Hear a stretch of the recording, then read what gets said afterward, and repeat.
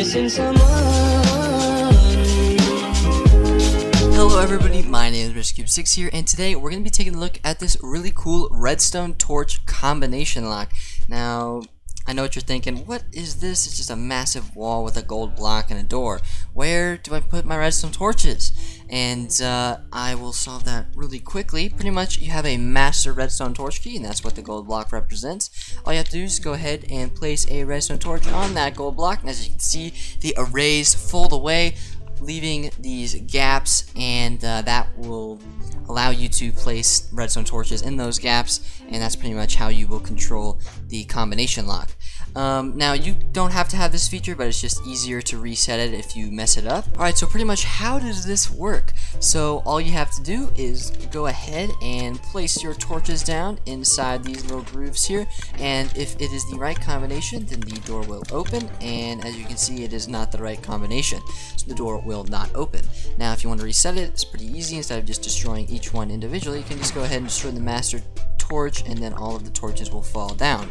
So in this case I do know the combination so let me just go ahead and input it. So pretty much it can be any combination as well, any picture. I like it like this, little X, and everything will break, allowing you to walk through the door and into the redstone. So here is all of the redstone for this design. As you can see, there's a lot of observers and pistons making the whole thing work. Now the cool part about this is that you can completely customize uh, the whole entire combination by just changing these redstone blocks out the back. So as you can see, that is a completely different combination. This, and then I think that, and then everything will get reset.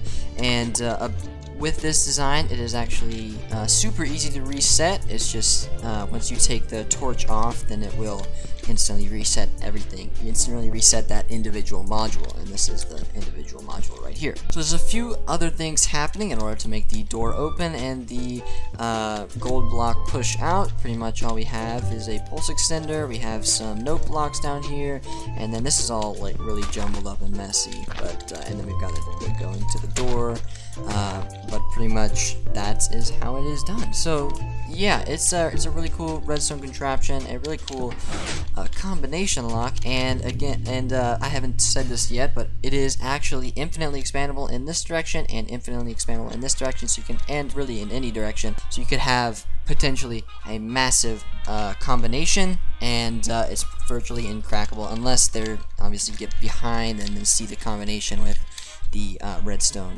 uh, blocks.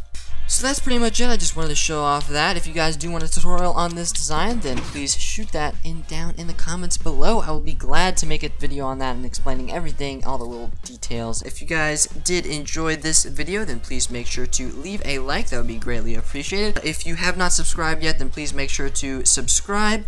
Uh, that would help me out a lot and grow the channel. My name is Mr. Cube 6, and I will see you guys in the next one. And uh, goodbye. And you deserve,